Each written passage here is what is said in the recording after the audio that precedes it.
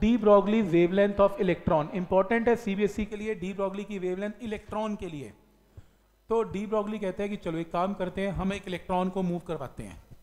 जब electron move करेगा तो मूव कैसे करेगा? आप उसे एनर्जी देंगे।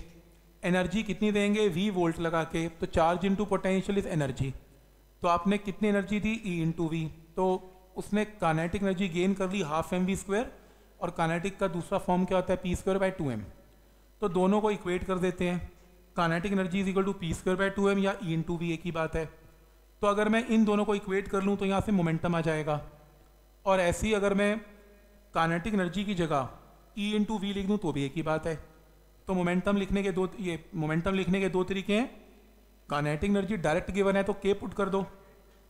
और वोल्ट की फॉर्म में गिवन है तो ई वी पुट कर दो।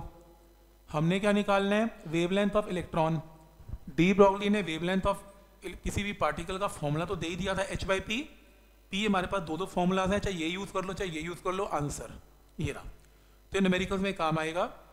इसके अंदर कल को भी ये भी पूछ सकता है प्रोटोन का लैमडा निकाल। लूँ तो कोई बात नहीं मास किसका यूज़ कर लेंगे? प्रोटोन का। और इलेक्ट्रॉन का कहेगा तो इलेक्ट्रॉन का। लेकिन ये टॉपिक किसमें डील करता है? लैमडा किसका निकालना है? इलेक्ट्रॉन का। तो एक काम करो मास ऑफ़ एच पता है मास ऑफ़ इलेक्ट्रॉन पता है चार्ज ऑफ़ इलेक्ट्रॉन पता है। आप यहाँ पर सारा कुछ पुट कर दो मास ई एच तो सॉल्व करके आपके पास ये आंसर आएगा। तो इसको आप बॉक्स में डाल लो और याद कर लो कि मूविंग इलेक्ट्रॉन का जो लैमडा होगा, वो इसके इक्वल होगा। क्लियर है यहाँ तक? लेकिन ये फॉर्मूला सिर्फ़ मूविंग इलेक्ट्रॉन के लिए ही लगेगा। प्रोटॉन या न्यूट्रॉन के लिए नहीं लगेगा। उसके लिए आपको यही फॉर्मूले लगाने पड़ेंगे। क्योंकि ये डेरिवेशन सिर्फ़ इलेक्ट्रॉन के लिए वैलिड है। क्लियर है यहाँ तक?